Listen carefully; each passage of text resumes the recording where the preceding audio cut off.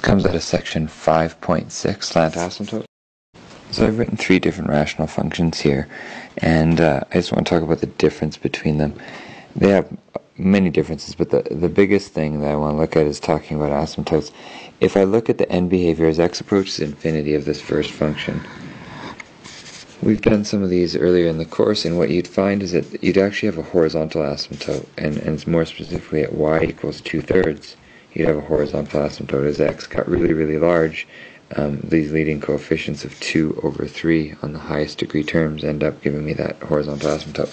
The second one, the degree in the bottom in the denominator exceeds the one in the numerator. And so if you try doing the limit as x goes to infinity of that, you get y equals 0. You've got a horizontal asymptote again because the bottom degree exceeds the top degree.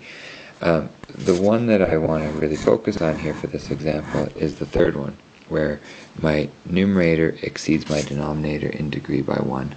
That's the situation where we expect to see a slant asymptote, and the way that we're going to find where that asymptote is is by taking 2x cubed minus 3x squared plus x minus 3 and dividing it by x squared plus 1 and seeing what we're left with. So I would need a 2x because 2x times x squared is 2x cubed. 2x times 1 is plus 2x. So let's subtract. The x cubes go away. I've got negative 3x squared comes down. x minus 2x is minus x, and I still have this minus 3. So what do I need here? I still need a minus 3 to say minus 3 times x squared is minus 3x squared. Minus 3 times 1 is minus 3. I divide and all I have left here is this minus x since its degree is smaller than what I had there. Um, my answer is far enough.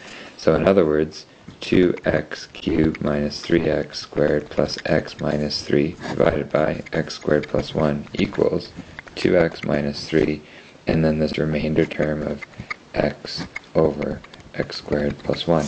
But as x gets really, really large, this remainder piece of that uh, goes towards zero, and the asymptote that we would have is a slant asymptote at y equals 2x minus 3.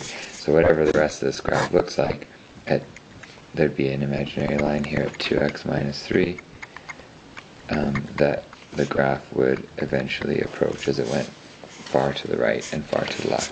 So that's how you find your slant asymptotes. Look for the specific situation where your degree in the numerator is 1 higher than the degree in the denominator.